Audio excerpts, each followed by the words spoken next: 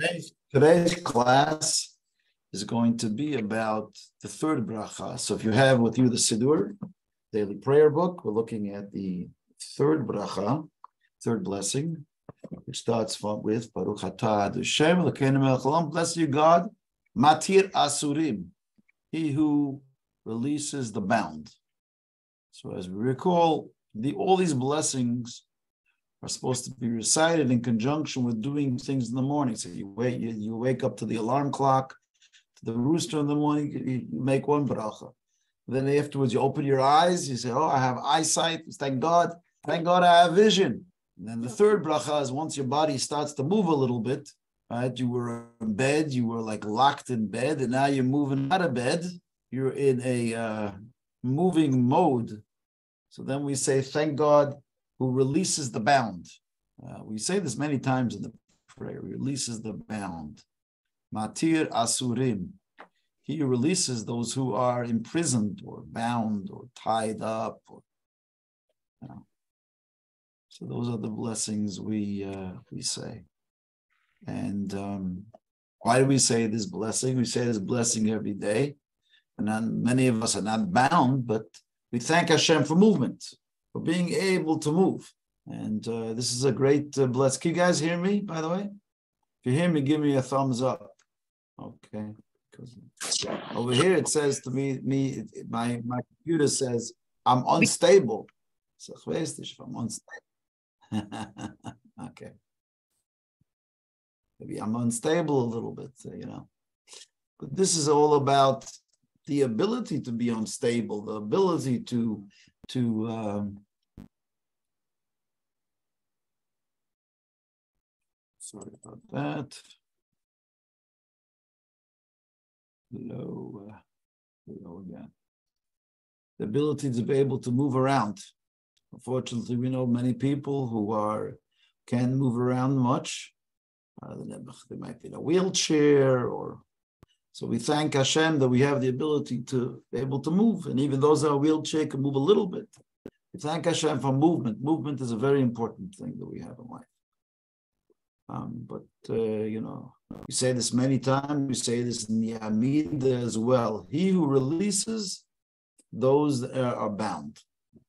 But really, as every bracha, like we mentioned before, every blessing has meanings and deeper meanings. So the simple meaning is that we can physically move, we can get around, but then there is the deeper meaning of what this bracha means. What does it mean to release the bound? This is the thanking Hashem for freedom. Releasing the bound is that we have Hashem gives us freedom, freedom of choice, freedom to be able to move to to do things, and this is this is the freedom. We're not slaves in Egypt. You know, every day a Jew is supposed to say, Thank God for taking me out of Egypt. Can't hear me now? Can you hear me? Okay. Thank God for taking me out of Egypt. This is a wonderful thing that we say every day, every day it says, and we say in the in the Shal Pesach, every day a Jew has to say, B'chol dor v'dor, and the Alter Rebbe adds, B'chol yom v'yom, every day we have to thank God for taking us out of Egypt. In the Shema, we always say, I am your God who was taking you out of the land of Egypt. This is a very important part of what we what we what we pray every day. So we, we thank Hashem for our physical movement and also our spiritual freedom. One of the one of the uh, greatest sites that people go to in America is a place called Liberty Bell where when the Americans, when they came to America, they were they were being persecuted religiously in the rest of the world. When they came to America, the pilgrims, they felt they had to put up this big Liberty Bell. The bell has a crack in it. And that bill it says, and you shall we shall proclaim freedom upon the land. So freedom is a very important thing, but not just physically, but also spiritually and emotionally. We need to free ourselves from the shackles, from the bondage Every day we thank God, we say, Hashem, thank you. Matir Asurim, he releases those that are bound. And in the Haggadah of Pesach, we say, if God would not have taken us out of the land of Egypt, we still would have been slaves. Now, one wonders what kind of prayer is that? Now, God, we say that right at the beginning of God Shal Pesach, we say, if God would not have taken us out of Egypt, we still would have been slaves. You would have been slaves in Egypt. Does that make a lot of sense to you? I mean, everybody has been released from different slaveries around the world. The world is now a world where all slaves, the slaves in the South were freed, the slaves in the countries are freed. There's hardly a place in the world where you still have slavery. Maybe some places, but so what are the chances that Jews still be slaves in Egypt today? Not very high. So, so why do we say the ilu? And if God would not have taken us out of Egypt, we would still be slaves today. So the answer is yes. We might have been freed physically, but there was another element to the freedom of this from the slavery of Egypt, and that is the spiritual freedom. God didn't just free the Jews. He didn't just take us out of Egypt and, and take us out that we don't have to work hard anymore. But he made us, he gave us freedom in our minds, in our hearts. He gave us a, a uh, the ability to to feel true freedom. This is something that's very, very important for us, each and every one of us, is that we be freed, not just physically, but spiritually. You know, there were many Jews that were in the Holocaust, and they were they were there. Maybe they were in the shackles of slavery there, and they were being forced to work, but they were free in their soul. You can be locked up somewhere in a jail, but you can be a free person in your mind.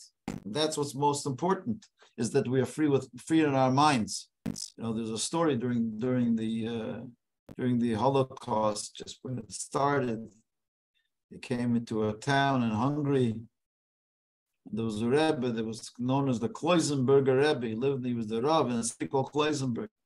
The Nazis came marching in, and the first thing they used to do was they would try to make a mockery of the, of the Jews there. Now, the Kloisenberger Rebbe, you have to know, he was spared, but he lost his wife and 11 children. His name was Rabbi Kusil of Kloisenberg. Ausenberg of the city. Rabbi Kusil Halberstam. He was a survivor of the Holocaust, and eventually he made his way to New York, and then he went to Netanya, and he dedicated his life to uh, to helping other Jews. And he founded a hospital called the Laniado Hospital, which today is one of the most famous hospitals in Israel. And it was all because of this man, the survivor of the Holocaust.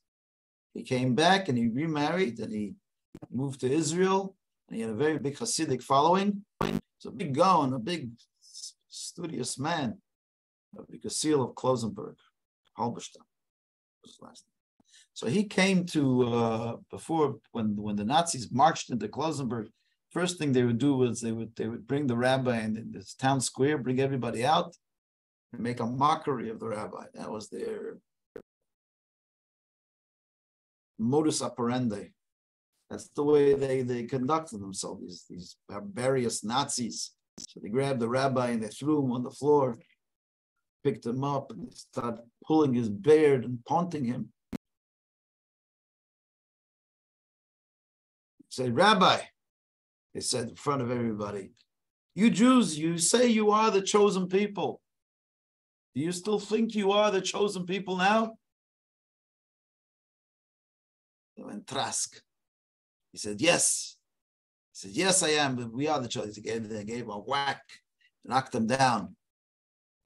A Nazi, brutal Nazi says to him, You still think you're the chosen people? He says, Yes, of course. Gave him another punch in the mouth, and he started to bleed from his mouth, the rabbi. He's lying there on the floor. The Nazi says, You still think you can call yourself the chosen people in this condition? He says, Yes, even more.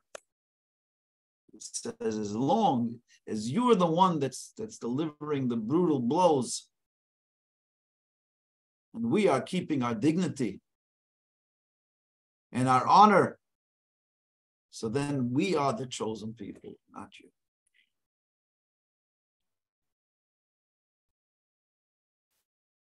As they say, freedom is a state of mind. You could be beaten by a Nazi, you could be down on the floor, but in your mind, you're still the chosen people. The Jews, when we were in Europe and they were in, in places and were really suffering a lot, but they were free people. They always ask the question why the Hasidim wear the black garb on Shabbos. They wear special black, long black garb, and they wear hats and streimels kind of old-fashioned clothing. Where does that come from? The Hasidim wear these this, these garments. Looks like old-fashioned clothes. Come on, come on, rabbis, get with the times. You know, people say, put on some, uh, you know, some casual clothing. What are you getting dressed up like? Like the the the, the uh, Polish nobility in Poland? Right? The answer is uh, these garments are very important for the for the for the rabbis, the Jews on Shabbos. Why? Because they are a sign of our freedom, of who we are. Because what we what's the background of these stories? What's the background of wearing these long kaftans and these long, long uh, these, these these old-fashioned garments? Many wear streimels. Where does that all come from? comes from because when the Jews were in the shtetl, they were persecuted a whole week. And on Shabbos, we came home and we sat down with our families, we sat down with our children, and we said, Kindalach, now on Shabbos, we are the kings and the queens. We are the nobility. We are free. The people outside are the prisoners, the one that persecute us the whole week. They're not the real free people. We are the real free people. So they get dressed up like as if they were the noble nobility. They would dress up like kings and queens and the princes in those days. That was the clothing they would wear. And they would dress in that to show the world and to show their family that on Shabbos we're free. On Shabbos we're Matir Asurim. We are not tied down. We are not victims we are the we are the winners. So they would dress themselves in these garments to show the freedom of Asur. And that's why the Hasidim kept that garb. Not to lose it. You always have to remind ourselves years later what happened years ago about how we, the Jews, despite all the circumstances, we're able to be free people. The truth of the matter is today we shouldn't really be saying these brachas because today we're not being persecuted. We live Baruch Hashem in a free country. I mean, unfortunately, we do have some anti-Semitism, and we do have some terrible tragedies that are happening in Israel. People that hate the Jews, but we are free people. But we want to teach our children that there was a time when we were not so free. And even though we, we appeared to be not so free, we kept our heads up high. Now, Viktor Frankl is a fellow who wrote a book called The Search of Meaning. He created the whole psychological logotherapy. and he wrote, he analyzed the people that were survivors in the Holocaust. And while he was he was in Auschwitz, and he watched other people there, and he saw that those that that, that had a meaning to life, the Nazis were not able, able to get them. Those that got depressed, they passed away. But those that, that had a reason to live, they were free people. So they were able to transcend the circumstances despite the cold and the difficulties and the hard work and the labor and the, everything was going on. They were able to be. And he wrote a whole philosophy, made a whole psychology based on that saying that the greatest drive, human drive, is the drive for finding meaning in life. And the Jews have always found meaning to life, and that's what kept us. That's why we're the oldest people. That's why Jews, all the other civilizations disappeared, because the other civilizations were based just on brute force. The Jews, our survival, the secret to our survival was that was never our strength, wasn't it? Yes, we had big armies at times, and but that's not what defines us. What defines us is our freedom, our inner freedom. Inner freedom is much more powerful.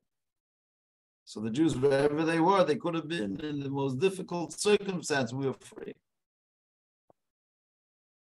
Today, Baruch Hashem, we have freedom in America and Canada.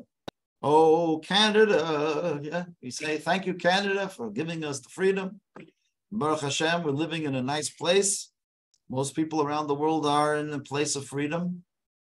But nonetheless, we can also get to situations where we become victims of, of circumstances and we get locked down again. And we still have to make a bracha every day. Matir, Asurim.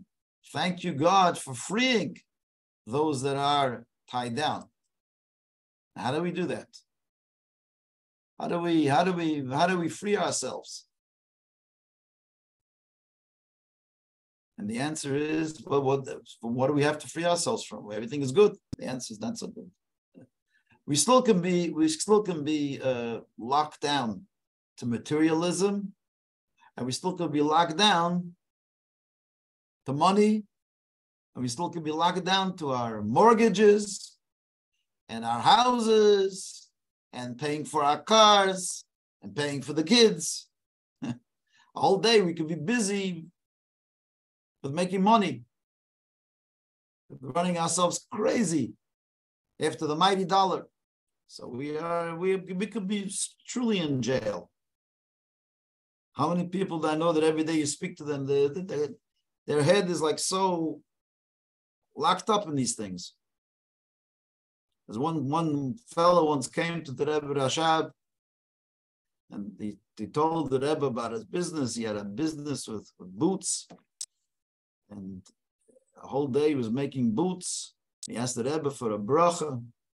So before he left the Rebbe, the Rebbe said to him, he says, it's incredible how you work on your business of boots a whole day.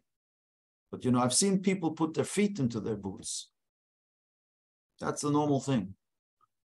But a head in the boots, your head is in the boots, the Rebbe says. All day you're thinking about your boots, making more boots and making more money. He says that's not a healthy thing. Healthy is when the feet are in the boots. But our brain is in the boots, the mind is in the boots. You're all consumed by the mighty dollar to make money a whole day. You're busy with your boot business. This is no good. Then you are tied down, you're locked. Oh, we ask Hashem every day, we should be free people. We should have true freedom, not just freedom from persecution, not just freedom from anti Semites, but also freedom, spiritual freedom, even in the, in the land of the free. We still can be really tied down, locked down to materialism and physicality. So we need to also release ourselves from that. So this is what we have here, the bracha of Matir Asurim. We should all free ourselves. Give me one second. So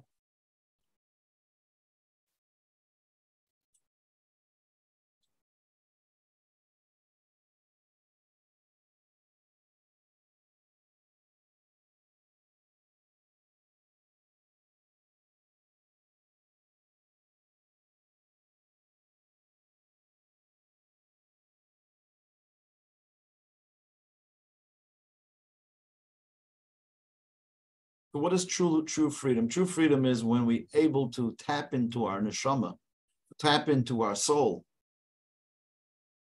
You know, it's when you're able to live your life based on the neshama that's within you. I just heard, you know, somebody once walked into the shul and came to the to the people there in the shul and says, "I'm looking for a tzaddik." Where is there a tzaddik in the shul? Tzaddik, a righteous person. So the fellow that, that, that was there said, I'm, I'm a new person in the shul. I don't know where there is a tzaddik here. So this fellow was all upset. He couldn't find a tzaddik in the shul. And so he wrote to the Lubavitcher Rebbe. He says, Rebbe, I came to the shul and asked for a tzaddik, and nobody could help me. What's what? Do, what am I? What am I to learn from this? Rebbe says maybe you would learn from this that you're looking in the wrong places. You want to find that tzaddik, you want to find a good person, Don't look outside to find other good people. Look into yourself, into your own soul. That's where you find the tzaddik. It says when a baby is born, when a child is born, Mashbi so we make the child swear that there'll be a tzaddik, tzaddik atam. Mashbi noisa should hate tzaddik to be a tzaddik, rasha, not to be an evil person. Question is, what does it mean we make the child promise? It says when the child is still in the mother's womb, an angel comes down and makes the child promise, he'll be a tzaddik. What does what does that mean? So let's explain the Chassidus. Mashbinos, and we make him swear, we give him strength. Hashem gives every person the strength to be a tzaddik because they have the righteousness within. So already when the child is in the mother's womb, already already then they have the ability to be a tzaddik.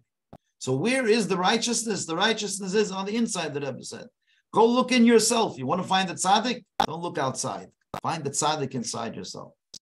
And so that is that's a, a, completely different approach. Is, is that you don't need to look outside. You have to look inside yourself to find that, and that's where you find your freedom. That's where you find who you are. Many people ask a very great philosophical question. How is it possible God says He gives us free choice? What kind of free choice is there in life? We're constantly being influenced by influencers. Now, today there's a big thing online. There's influencers. People that their job is to influence you. People who influence, they're influenced by movie stars, by other people, by people online, and we we we don't make our own decisions.